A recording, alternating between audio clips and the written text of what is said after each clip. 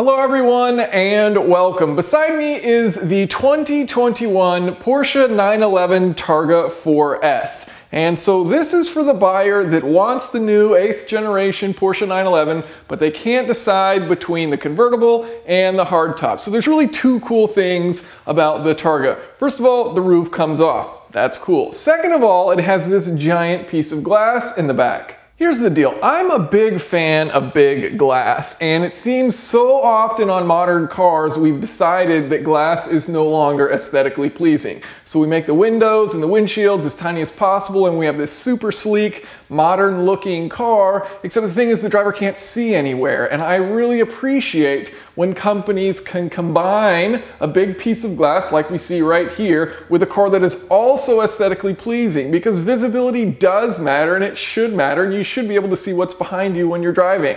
Another cool thing about this Targa is how the roof comes off. So I'll admit, when Porsche first delivered this for me to check out, I assume that there were some mechanical latches. I pick up the top, I stick it in the back, easy peasy. Well, it's actually way easier than that. So actually what happens is you hold this little button on the key, the windows roll down, the back folds back, that fine piece of glass, and then your roof just slides back there, and it all comes neatly together, and you don't have to touch a thing except for this button on the key. Beautiful. Let's talk about price. It's a Porsche, you know it's expensive. The Cabriolet 4S and the Targa 4S both actually start at the same price, about $135,000.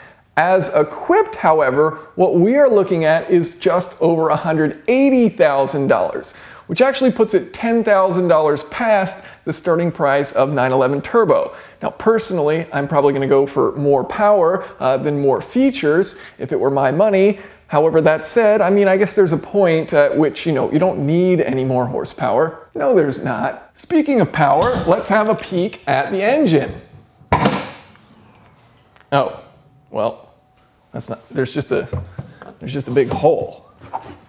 But plenty of space for your stuff. Sorry for being stupid. Everyone knows Porsche engines are in the back. So let's have a peek at this Boxer engine.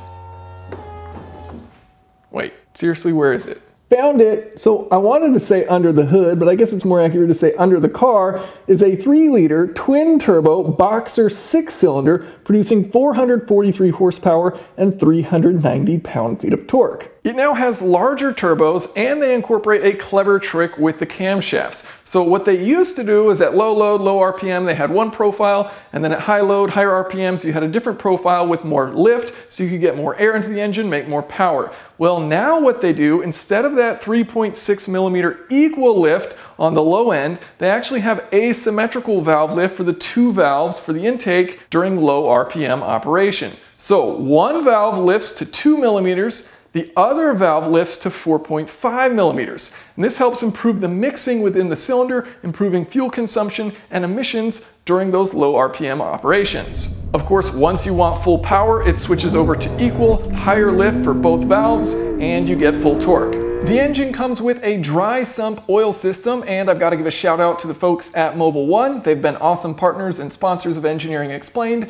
and this is yet another car that's factory filled with Mobil 1, along with a long list of other Porsches. In this case, the 3-liter twin turbo is using 0W40. All right, so what's this thing like to drive? And I think initially I need to just say something about that rear uh, window because I like the idea of how giant it is and having good rear visibility. The thing is, it's up really high. So looking through the mirror, it's fine because the mirror is mounted high so you can see back behind you just fine. But looking back, as if you were backing up or something like that, and you're trying to look at your surroundings, you really don't see much turning around and looking back that direction. I'm also fairly tall looking back here, so uh, rear visibility isn't as amazing, I feel like, as it could be.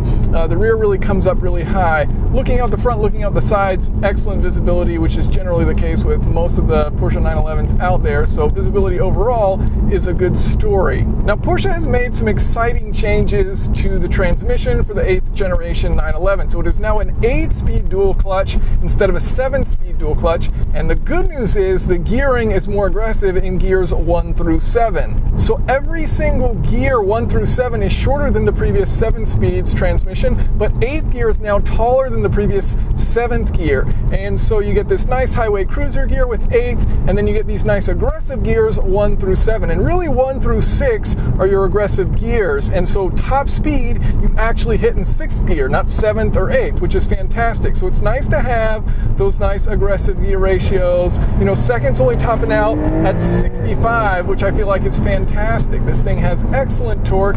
It's got good response. Really don't, uh, it's not super obvious that it is turbocharged when you put your foot down. You don't have a super long delay and when you get the torque, which is very impressive. And the shifting speed also very good. So classic Porsche dual clutch, very fast shifts, especially when you're driving aggressively. And one of the other things that I really like about this transmission is low speed control is actually really good. So one of the problems a lot of dual clutch transmissions have is that low speed inching control and it feels kind of jerky. This does a nice job at real low speeds, just inching along in first gear. So I like the way that they make it feel almost like an automatic uh, transmission with a torque converter when you're at real low speeds and it doesn't have that shaky feel that some dual clutch transmissions tend to have. Another exciting piece of the story with the transmission is that they offer as a no cost option a 7 speed manual with the Targa 4S. So thank you Porsche for still keeping the manual transmission alive while folks like uh, Chevy with the Corvette, Ford with the GT500, Toyota with the Supra are all like now we're just going to do automatic. It is fantastic that Porsche is keeping the manual alive. Now, this car isn't particularly light. It's coming in just under 3,700 pounds. However, keep in mind that it is all-wheel drive, and even with that heft, 0 to 60 with launch control happens in 3.4 seconds. So, put your foot down. yeah, you've got fantastic response and plenty of speed. Now, here's something rather unique and interesting about the 8th generation 911. It has something called wet mode, and part of this wet mode is that it, the car has acoustic sensors up in the front wheel wells to detect when it's going through deep water. And so it uses that to alter the traction control and the stability control if it sees that you're driving through water. Now, my favorite part about this is that apparently if you run over a puddle, it says, hey, by the way, you're driving over water. And, you know, it's great that it indicates that to you and it tells you, hey, you should put it in wet mode. But it's kind of like, okay, if you're driving over water and you don't realize it, is, is your car what indicated to you that you were driving over water? Like that to me is a little wild. But either way, cool that they have a, a, system set up that detects water on the road. Porsche says it's a world first as far as actually detecting large amounts of water on the road, and then uses that to change the stability and traction control to make sure that you don't get out of hand. So overall, driving dynamics, one of the things I've been the most surprised by in driving this is just how comfortable it is. It is an insanely smooth, comfortable ride. Sure, the road that I'm on isn't all that terrible, but even still, uh, everywhere that I've been going on this thing, it surprises me how comfortable the suspension is. They have done a fantastic job with the chassis tuning as far as the comfort level, and of course, you know, you have that steering response that is fantastic. The brake pedal short travel, great modularity to it. Uh, the throttle pedal, again, like it's it's very well connected. It doesn't feel like a turbocharged engine from a response level, but it certainly feels like a turbocharged engine from a torque level. And so it is it is an impressive machine. I have to give them credit. I mean, almost everything about the driving dynamics is exceptional. When you start thinking about, you know, this is a $180,000 car that I'm sitting in. It's like, are you getting your money's worth? And I think part of it is that from a speed standpoint, there is plenty out there that allows you to feel the acceleration that you will feel in this for far less money. But from a refinement standpoint, that's something they do really well. And people get, you know, uh, disturbed by electronic controls. This has electronic stabilizer bars. It has electronic turbo wastegates. It has electronic turbo bypass valves.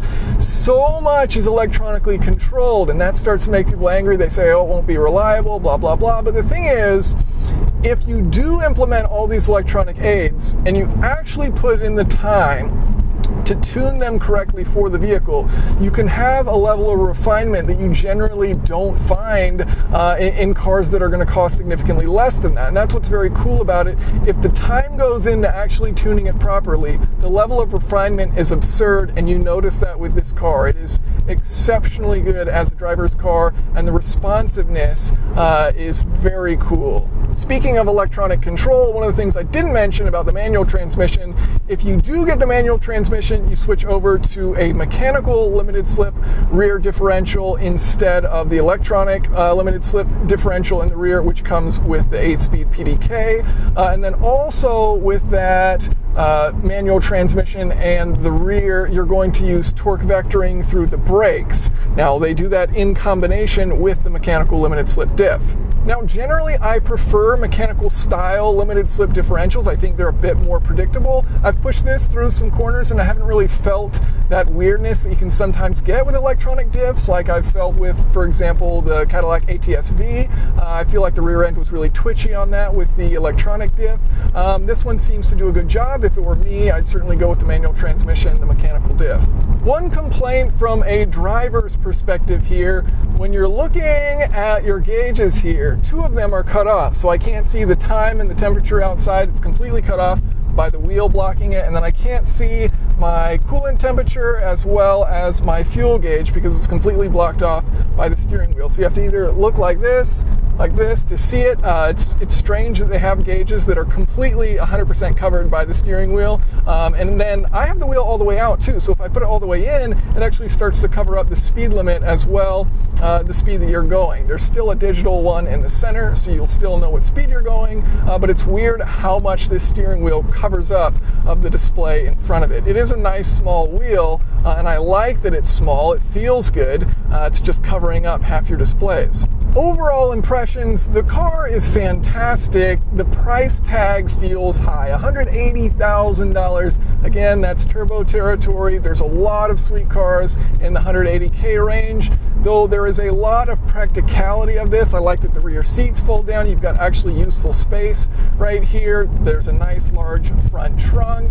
Uh, so there are practical aspects of it. I like that it still has great visibility. I like how refined everything is. So there are certainly advantages that Porsche offers uh, that you might not find in every vehicle in this price range. But $180,000, this is the most expensive Porsche I've ever driven, uh, and that's that's a lot of coin for for what you're getting. Um, you know, a three-liter turbocharged engine isn't the wildest thing out there. You're you're really paying for the refinement, the the ride quality, um, and some of the smaller features like that that you know make it feel very daily drivable, but not quite exotic wild.